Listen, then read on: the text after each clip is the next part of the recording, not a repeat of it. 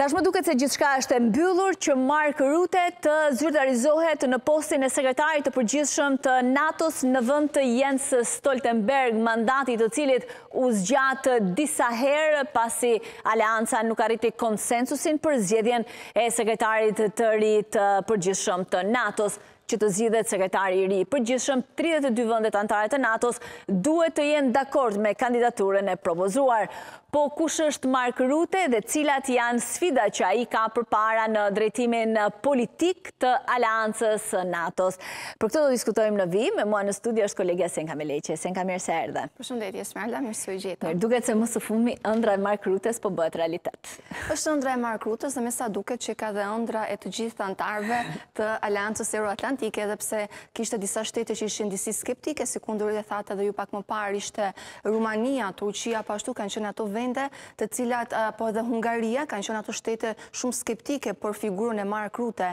në krye të Aleancës Euroatlantike por me sa duket Mark Rutte me karakterin e tij, me buzëqeshjen e tij, Apo siç e theksojnë dhe shumë mirë dhe studiues apo analistë theksojnë se Mark Rutte arrin të gjejë atë pikën më të dobët të liderëve botëror, të liderëve të NATO-s në këtë në këtë rast, për të marrë vëmendje dhe për të marrë votën që atij i duhej për të qenë në krye të kësaj aleance kaq të rëndësishme e cila duhet thënë Esmeralda në këto vite të luftës ka marrë edhe një edhe më shumë rëndësi, por që duhet t'i ofrojë të gjithë Europës, të gjithë botës edhe mbrojtje kundër Rusisë. Kjo shpjegon dhe dashurinë për Shqipërinë të Mark Rutte, nga vendi më skeptik dhe më bllokues i Shqipërisë u bë edhe vendi më mbështetës. Më mbështetës, por është politika e Mark Rutte, Esmeralda, në fakt ai është cilësuar edhe kryeministri më jetëgjatë i Holandës dhe këtë mënyrë apo këtë mënyrë apo këtë mënyrë sjellje me këto shtete Ai në fakt i është i është përshtatur, i është përshtatur asaj çfarë ka sjellë edhe terreni, sikundër e thekson shumë mirë Mark Rutte, ne do të vallëzojmë me atë çka na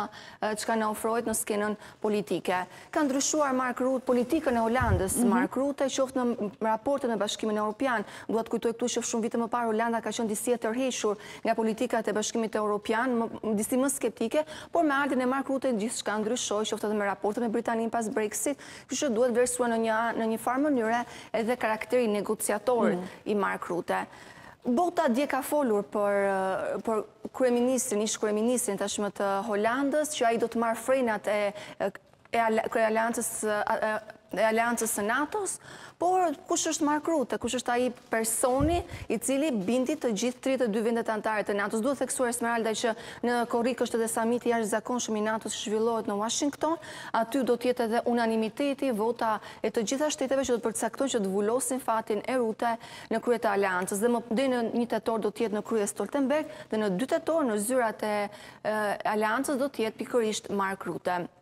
Mark Rutte Esmeralda është i lindur në Hagë, është 57 vjeç, është djali një tregtareje dhe një sekretareje, vjen nga një familje e thjeshtë, nuk është se mhm. ka një background që familja e tij të vijë nga background-i politik, kështu që ai ia ka dalë që të marrë edhe vëmendjen politike, por që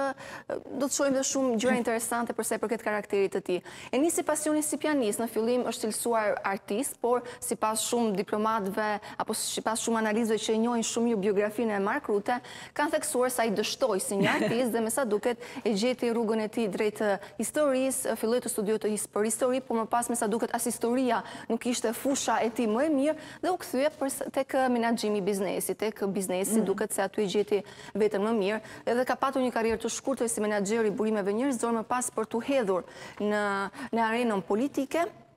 dhe ka qenë, duhet theksuar që ka qenë edhe një nga liderët për 18 vite ka drejtuar edhe partinë popullore për liri dhe demokraci në Holandë dhe me sa duket ajo e ka formësuar dhe karakterin e tij politik. është 1.94 metra i gjatë, është protestant, është anëtar i kishës po ashtu dhe shkon rregullisht në kishë, është i pamartuar, Ka shtatë vëllezër, është një mbështetës, duhet theksuar Esmeralda është dhe një mbështetës i komunitetit LGBT dhe kjo ka qenë një nga pikat kryesore që e ka përplasur fort me Viktor Orban, kryeministrin e Hungarisë, të cilin më pas e bindi me shumë forcë për të marrë atë veton për në NATO. Jeton është duhet theksuar që herë pas here është përmendur ky fakt përsa i përket Mark Rutte, që jeton në të njëjtën shtëpi në Hagë që ka blerë me miqtë e tij kur ishte i ri kur ka qenë student. Edhe kjo është pamja, momentet kur në video, kur është duke dalë nga apartamenti i tij dhe rruga ku Mark Rutte jeton dhe duhet theksuar që dhe gjatë viteve që ka patur si kryeministër, ai nuk e ka ndryshuar kurrë vendbanimin e tij. Ndoshta këto janë detaje apo fakte që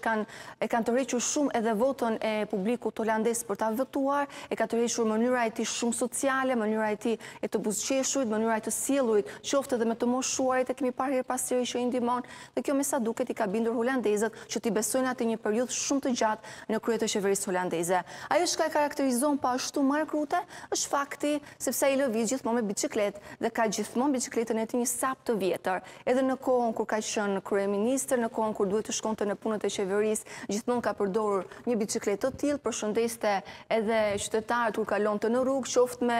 me kostumin e zyrtarit, qoftë me kostume sportive, Mark Rutte nuk e ka nuk ka zbritur kurrë nga biçikleta, ndoshta dhe lidhet dhe me faktin se Holanda është një shtet që e dashuron, janë qytetarë të cilët e përdorin shumë biçikletën, madje në disa të dhëna ka më shumë biçikleta se sa njerëz, se sa qytetarë, kështu që është një traditë me sa duket si Shkodra, që e dashurojnë pedalimin, kështu që dhe Mark Rutte është një adhurues i biçikletës dhe nuk ka hequr dorë kurrë prej saj. Edhe si në kohën kur ka shërbyer si kryeministër i Holandës, ai një herë në javë jepte mësime sociale në një shkollë të mesme në Holandë dhe shkonte vizitonte herë pas here dhe të moshuarit në në qendra të ndryshme sociale të Holandës. Dhe më pas fillon edhe për të lënë pak anën, aspektin mhm. social apo karakterin e tij, më pas fillon dhe karriera politike shumë e fortë e Mark Rutte. Duhet thënë që ka ndryshuar disi edhe politikën e Holandës nga viti dy mijë e gjashtë deri në vitin dy mijë e njëzet e tre, ka qenë lider i Partisë Popullore për Liri dhe Demokraci, ndryshoi mënyrën e të vepruarit të kësaj partie, por edhe mënyrën se si Holanda do të qasej qoftë në arenën në politikën e brendshme me koalicionet, por edhe në arenën ndërkombëtare. Do të vazhdojmë tek ledi i dytë dhe unë jam përqendruar tek tek ana politike e Mark Rutte, qoftë në arenën ndërkombëtare, por edhe në politikën e brendshme. Sikundër e theksova dhe pak më sipër, Mark Rutte është kryeministri më jetëgjatë i Holandës, 14 vite në pushtet Esmeralda, ka arritur që të thashë me karakterin e tij me buzëqeshje, është personi i cili ka arritur të gjejë gjuhën e përbashkët dhe të krijojë koalicione dhe në momente shumë kyçe, në momente krizash të qeverisë holandeze dhe ka arritur të formojë qeverinë që i është dashur këtij shteti. Është cilësuar i mbijetuari i politikës holandeze, Teflon Mark, cilësohet herë pas here sepse ai ka arritur të jetë shmangës i skandaleve, nëse mhm. shumë qeveritarë apo politikanë të tjerë të Holandës janë përfshirë në skandale të ndryshme, qoftë për sa i përket jetës personale, qoftë për sa i përket korrupsionit, Mark Rutte ia ka dalë gjithmonë të dalë i pastër. Kështu që i është shmangur çdo lloj akuze, apo edhe imazhi që mund të dëmtonte Mark Rutte. Sikundër e theksova është një politikan i aftë t'i shmanget skandaleve, është i drejtpërdrejtë dhe për këtë arsye është bërë shumë i dashur për publikun, madje edhe në një foto unë kam përzgjedhur një moment nga gjatë takimit me liderët e samitit, janë korridoret e Bashkimit Evropian, është duke hyrë dhe është ngatërruar dhe edhe nëse ngatërrohet, edhe nëse bën një batutë, Mark Rutte është gjithmonë aty duke buzëqeshur dhe gjithmonë Esmeralda nuk asnjëherë nuk ka të sharë, gjithmonë merret me shaka dhe ndoshta edhe cilësohet për karakterin e tij shumë spontan. Ai ka drejtuar katër qeveri të ndryshme koalicioni dhe është shumë fleksibël në politikë. Në skenën ndërkombëtare shihet si një liberal konservator i tipit anglosakson, një negociator shumë i mirë, sepse sikundër e theksova, ai ka arritur të drejtojë katër qeveri të ndryshme dhe ka arritur të gjejë gjuhën e përbashkët mhm. me partitë e tjera për të realizuar koalicionin. Shumë i mirë për të kërkuar falje studion të tjerët, kështu e ka cilësuar një gazetare, Smeralda, në media ndërkombëtare, në politiko.com, Dhe këtë në fakt e lidhë dhe me faktin se për rastin e fundit kur iu desh të merrte dakordësinë e Orban, kur në një farë mënyrë iu dhe Sllovakisë iu duhet të gjejë një zgjidhje, nëse deri para pak kohësh theksonte që nuk do të tërhiqej nga qëndrimet e tij ndaj Hungarisë në një farë mënyrë e mori në telefon Viktor Orban dhe arriti ta bindë. Po nga ana tjetër po ashtu edhe me presidentin e Turqisë Erdogan, ai para pak kohësh ka qenë në Turqi dhe me sa duket e ka bindur, sikundër e thekson gazetarja, ai gjen ato pikat e dobëta. Nëse ti duhet të jesh i përulur përpara Erdogan, atëherë atëherë Rute e bën. Nëse duhet të tregohesh i fortë, Rute sërish e bën. Kështu që prandaj është vlerësuar për karakterin e tij që i përshtatet personazhit apo personalitetit që ka përballë. me Ruten, sikundër e theksova pak më sipër, holandezët kanë luajtur një rol shumë të rëndësishëm në Bashkimin Evropian, nëse përpara qeverisjes së tij Holanda ka qenë disi e përgjumur për ndikimin që mund të kishte në Union, me ardhjen e Rutes zëri i Holandës u bë më i fuqishëm. Dhe ajo çka duket se ka bindur NATO-n që Mark Rutte duhet të jetë në krye të kësaj aleance të rëndësishme, ka qenë pikërisht mbështetja e madhe që ai ka ofruar për Ukrainën. qoftë për sa i përket armëve, qoftë edhe mbështetjes në para që Volodymyr Zelensky ka kërkuar herë pas here dhe është kthyer në një nga kritikët më të zëshëm ndaj Vladimir Putin. Edhe pse dikur ka qenë aleat me Putin, kanë patur marrëdhënie të mhm. mira, më pas këto marrëdhënie janë krisur disi gjatë një aksidenti ku ka patur një avion i cili i rëzuar nga i rëzuar nga rusët dhe ku pati një rreth 100 të vdekur të cilët kanë qenë shtetas holandez dhe kjo dhe në ka kjo këtu ka nisur krisja diplomatike mes dy shteteve pasi Holanda kërkonte trupat dhe Rusia ka qenë ajo që kundërshtonte dhe në këtë mënyrë ka nisur edhe kjo ky lloj komunikimi i ftohtë mes të dyve dhe Mark Rutte ka qenë shumë i ashpër me Putin gjatë luftës në Ukrainë e ka cilësuar një njeri të ftohtë një njeri i cili nuk kërkon paqe dhe me sa duket aleatët e NATO-s ka do përpiqen të gjejnë te Mark Rutte atë personin që ndoshta mund të bindte edhe disi Putin. Kjo mbetet për t'u parë në në mandatin që do të marrë. Dhe një nga sloganet që Mark Rutte përdor Esmeralda qoftë në politikën e tij të brendshme është lërini njerëzit të jetojnë jetën e tyre si të duan, përderisa deri në momentin kur duhet të respektojnë ligjin. Europa të punojë me këdo që është në pistën e vallëzimit, ka qenë një nga shprehjet e forta të Mark Rutte dhe është përdorur pikërisht në samitin e e samitin e NATO-s kur ka qenë presidenti ish-presidenti amerikan Donald Trump dhe për të cilin Rutte u vlerësua sepse arriti të bisedonte të hynte në bisedime me me Trumpin në momentin kur Trump ishte kthyer në një nga armiqtë e Aleancës Euroatlantike përse sepse ishte shumë i fortë në kërkesën që vendet duhet të paguajnë Dhe që koha i dha të drejtë në fakt. Po të gjitha shtetet janë duke e bërë. Kështu që me sa duket, por është cilësuar herë pas here edhe është pëshpëritës i Trump, me sa duket nëse do ta shpjegojmë dhe tek Ledi më sipër, me sa duket Mark Rutte mund të jetë një një kartë e fortë për aleancën nëse Donald Trump do të vijë në pushtet. në Shtëpinë e Bardhë në zgjedhjet e nëntorit. Do të vazhdojmë edhe tek Ledi mhm. tjetër. Unë jam përpjekur të gjej edhe apo të gjej edhe pesë sfidat kryesore me të cilat mund të përballet Mark Rutte gjatë mandatit të tij dhe kam vendosur midis Putin edhe Trump. Ndoshta Trump mund të vijë në pushtet këtë do ta shohim, por ai do të ketë në një zgjedhje shumë të vështirë, qoftë për të patur një përballje të fortë me Vladimir Putin, por edhe për të bindur Trump, sepse Trump Esmeralda duhet theksuar që është shumë Është shumë skeptik për sa i përket luftës në Ukrainë. Ka kërkuar që nëse do të jetë president nuk do të ketë më të mbështetjen që Ukraina ka sot nga administrata Biden. Por duhet theksuar këtu që edhe raportet e Trump me Putinin janë edhe më të afërta. Si unë e theksova, një nga sfidat e tij do të jetë rikthimi i mundshëm me Trump, cila do të jetë cila do të jenë negociatat e mhm. Mark Rutte që do të arrijë të bindë Trump që të mos jetë kaq i ashpër. Sulmi i Putin gjatë dimrit në Ukrainë, po kjo po ashtu mund të jetë një nga sfidat shumë të rëndësishme të Mark Rutte sepse Rusia vazhdon të sulmojë me raketa Ukrainën dhe nuk do ta nuk e dim ende se si do të përfundojë lufta. Po ashtu shumë e rëndësishme për Mark Rutte do të jetë edhe të bindë shtetet anëtare të NATO-s të paguajnë 2% e prodhimit të brendshëm bruto, jo të gjitha shtetet kanë arritur të realizojnë këtë objektiv të vendosur nga NATO, kështu që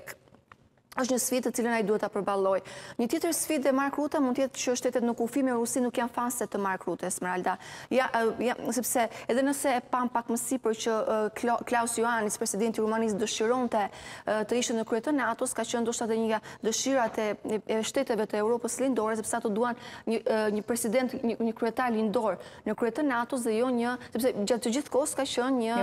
një perëndimor dhe ndoshta kjo do t'i ndihmonte, por ata do të lobojnë fuqishëm që një zëvendës sekretar. sekretar të jetë nga Europa Lindore, por kjo mbetet për t'u parë. Jo vetëm Trump, por Trump Rutte duhet të bindë Esmeralda në këtë kohë dhe skeptikët, sepse ne e pamë shumë mirë që në zgjedhjet e Parlamentit Europian ekstremi i djathtë arriti të merrte shumë fuqi, kështu që Mark Rutte do të duhet të bindë dhe ekstremistët. Wilders ishte një nga fituesit e zgjedhjeve parlamentare edhe zgjedhjeve në Holandë, kështu që Mark Rutte ka shumë sfida përpara, kjo mbetet për t'u parë se çfarë do të zhvillojë kryetari i ri i NATO-s. Unë kam zgjedhur dhe një video për ta përmbyllur, për të parë natyrën karizmatike të Mark Rutte, është një video e cila bëri shumë bujë në atë kohë, ka qenë një moment kur Mark Rutte ishte duke hyrë në një nga seansat e Bashkimit Europian dhe derdhi kafen. Por nuk u mjaftua me kaq, ai mori shtupën e sanitareve dhe e pastroi vetë atë çka bëri, duke marrë kështu duartrokitjet jo vetëm të zonjave që ishin aty, por mori duartrokitjet e shumë qytetarëve të cilët e ndoqën në rrjetet sociale dhe me sa duket këto veprime të vogla, tregojnë shumë për karakterin e Mark Rutte që gjithë gjithmonë i buzëqeshur. Fakti që ka jetuar dhe jeton vetëm e ka bërë që të jetë i kujdesshëm edhe me punët e shtëpisë. Por ka menduar edhe për politikën duke treguar kështu edhe një imazh krejt ndryshe nga shumë liderë të tjerë botërorë. Herë pas here Ismail edhe në takime të ndryshme, nëse kur i ndjek samitet e Bashkimit Europian, herë pas here shikon edhe veprime apo gjeste të